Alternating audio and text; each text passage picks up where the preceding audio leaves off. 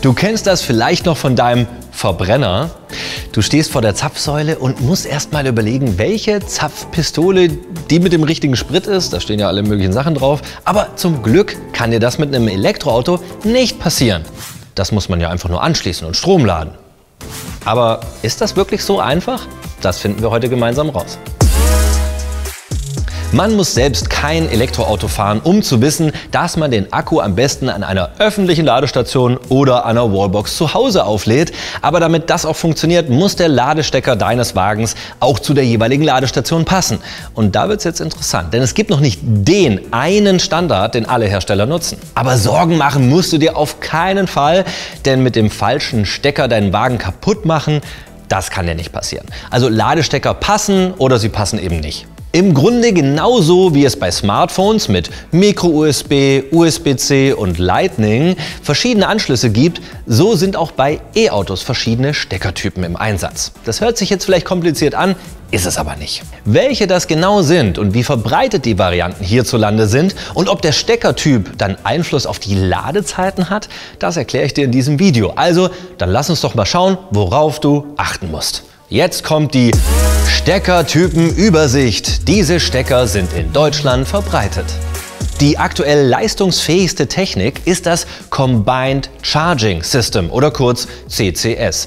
Dieses kombinierte Schnellladesystem, das auch Combo 2 genannt wird, ist ein europäischer Standard. Das Ladeverfahren sowie Steckervarianten sind entsprechend genormt. Das passende Ladekabel musst du übrigens nicht mit dir herumfahren, das ist an jeder Ladestation fest angebaut. Ein kurzer Exkurs zu Gleichstrom und Wechselstrom. AC Alternating Current oder Wechselstrom nennt man Strom, der seine Fließrichtung oder auch Polung regelmäßig in extrem kurzen Zeitintervallen ändert. Mit Wechselstrom sind an Ladepunkten mit dem Typ 2 Stecker bis zu 43 kW Ladeleistung möglich. Der Typ 2 Stecker passt übrigens auch in deine Wallbox zu Hause. Demgegenüber steht dann der Gleichstrom, auch DC, Direct Current genannt, den du an den Schnellladepunkten mit einem CCS-Stecker lädst. Hier sind Ladeleistungen von bis zu aktuell 350 kW möglich. Das ist schon sehr viel. Äh, dass du versehentlich den falschen Strom lädst, ist übrigens nicht möglich. Also keine Sorge. Beim Akku deines Elektroautos kommt immer nur Gleichstrom an. Diesen lädst du entweder direkt Ne, per Gleichstrom oder eben geladener Wechselstrom wird über den Onboard-Charger deines Elektroautos dann eben in Gleichstrom umgewandelt. Weitere Informationen zum Thema Schnellladen, Ladeleistungen und alles drumherum findest du übrigens im Video zum Thema Schnellladen. Schau da doch mal rein. Kommen wir zurück zum CCS-Stecker. Mit dem kannst du über Gleichstrom und Wechselstrom laden und dafür ist der Stecker in zwei Bereiche aufgeteilt. Der obere Teil entspricht im Grunde einem Typ-2-Stecker und wird zum Laden über Wechselstrom verwendet. Der untere Teil kommt dann beim Laden über Gleichstrom zum Einsatz. Der obere Teil übernimmt dann in diesem Fall die Kommunikation zwischen deinem Fahrzeug und der Ladestation oder Wallbox. Ja, die reden miteinander.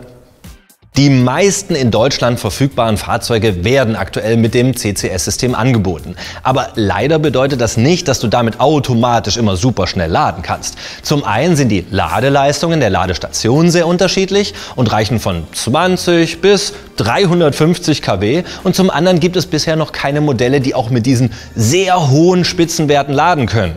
Und wo wir gerade dabei sind, die Ladezeiten werden ähnlich wie die Verbrauchswerte bei Verbrennern vom Hersteller immer unter den Optimalbedingungen angegeben. Das bedeutet, dass deine tatsächliche Ladezeit schon stark von weiteren Faktoren wie dem Akkuladestand und auch der Umgebungstemperatur abhängt. So, und das hier ist der sogenannte Typ 2 Stecker. Den hatten wir ja gerade auch schon beim Thema Laden mit dem CCS-Stecker. Dieser Stecker hier ist ein weiterer europäischer Standardanschluss, über den alle AC-Ladesäulen in der gesamten EU verfügen müssen. Also ganz egal, wo du gerade in Europa unterwegs bist, mit diesem Stecker hier kannst du deinen Wagen auf jeden Fall laden.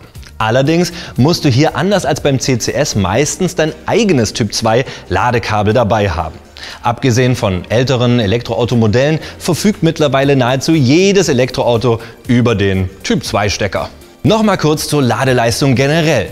Die Ladeleistung ist nicht bei jedem Elektroauto genau gleich und abhängig vom Batteriemanagementsystem und auch dem verbauten Gleichrichter. Deshalb solltest du beim Kauf auf die jeweilige Ladeleistung achten. Wenn dein Wagen beispielsweise eine Ladeleistung von 11 kW an einer Wechselstromquelle hat, würde er auch an einer Wallbox mit 22 kW trotzdem maximal eben nur mit 11 kW laden. Wenn du mehr darüber wissen möchtest, habe ich dir einen Artikel zum Thema schwankende Ladeleistungen in der Beschreibung unten verlinkt. Und hier noch ein kleiner Hinweis für alle Tesla-Fahrer. Von außen sieht dein Ladestecker genauso wie ein Typ-2-Stecker aus. Allerdings sind die Pins im Inneren anders belegt.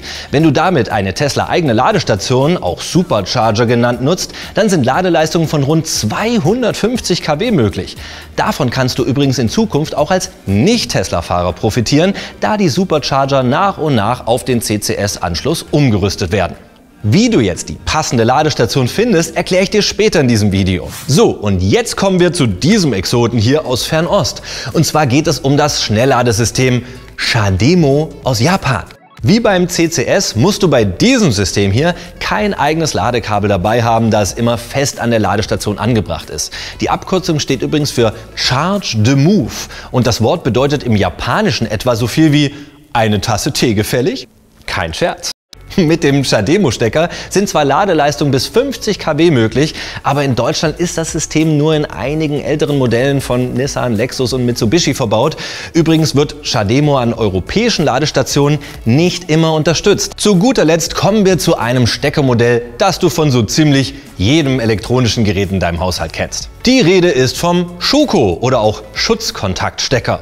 Und die dazu passende Schutzkontaktsteckdose oder auch Haushaltssteckdose, die wirst du ziemlich sicher von zu Hause kennen. Das Schuko-System ist übrigens nicht nur in Deutschland, sondern in ganz Europa verbreitet. Grundsätzlich kannst du dein Elektroauto natürlich an so einer Haushaltssteckdose aufladen. Aber empfehlen würde ich dir das nur im absoluten Notfall. Denn für so eine hohe Dauerbelastung wie das Laden eines Elektroautos sind die Schuko-Steckdosen nicht wirklich ausgelegt. Deshalb würde der Ladevorgang mit nur etwa 2,6 kW Ladeleistung sehr lange dauern.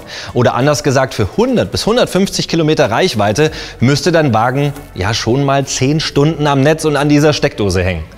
Wenn es aber eben mal gar nicht anders geht, dann kannst du dein Elektroauto natürlich auch an dieser normalen Haushaltssteckdose anschließen. Allerdings liefern die meisten Anbieter lediglich ein Kabel mit Typ 2 Stecker mit. Insofern solltest du beim Kauf deines Elektroautos einen Schuko-Adapter mitbestellen, um für den Notfall ausgestattet zu sein. Das eine Ende des Kabels wird dann mit diesem Typ 2 Anschluss an deinen Wagen angeschlossen. Zack. Und das andere Ende steckst du dann ganz normal in deine Steckdose. Und ob der Ladevorgang dann auch wirklich funktioniert, das kannst du über die im Kabel integrierte Kontrollbox prüfen. Jetzt haben wir einiges über die verschiedenen Steckertypen herausgefunden. Und jetzt heißt es für dich, die passende Ladestation finden. Wenn es Zeit wird, deinen Akku zu laden, musst du nicht nur eine Ladestation finden, sondern es wäre natürlich auch gut zu wissen, ob der Ladeanschluss auch zur Säule passt. Das geht zum Glück ziemlich einfach mit dem Smartphone, zum Beispiel mit der NBW Mobility Plus App indem du die verfügbaren Lademöglichkeiten nach Steckertyp und Ladeleistung, also beispielsweise ausschließlich Schnelllademöglichkeiten filterst, findest du super schnell die nächste passende Ladestation. Die App zeigt dir übrigens auch an, ob der Anschluss, den du zum Laden brauchst, gerade frei ist. Wenn du dann die richtige Ladestation gefunden hast, hilft dir die NBW Mobility Plus App dabei, den Ladevorgang zu starten, zu beenden und bezahlen kannst du damit auch. Fassen wir also nochmal zusammen. Bei den aktuellen Elektroautomodellen ist standardmäßig die Buchse für den Typ-2-Stecker eingebaut oder, wenn das Fahrzeug schnellladefähig ist, dann eine CCS-Buchse. Also solltest du beim Kauf eines Fahrzeugs auch immer auf die verbaute Ladetechnik achten. Und gerade dann, wenn du öfter mal auf der Langstrecke unterwegs bist, zum Beispiel auf dem Weg in den Urlaub und die entsprechend kurze Ladezeiten sehr wichtig sind. Das war's dann auch schon mit unserer kleinen Steckerkunde. Ich hoffe, ich konnte alle deine Fragen beantworten. Falls nicht, hinterlass uns doch einfach einen Kommentar und wir klären es gemeinsam als Community. Wenn dir das Video gefallen hat, Like da lassen und ich kann dir nur empfehlen, abonnier den Kanal, drück noch die Glocke, dann verpasst du keine neue spannende Folge mehr, wie zum Beispiel die hier. Das ist auch ein echt gutes Video. Bis bald, tschüss. Born ready! Was für ein geiles Teil. Ich bin auch ganz sanft.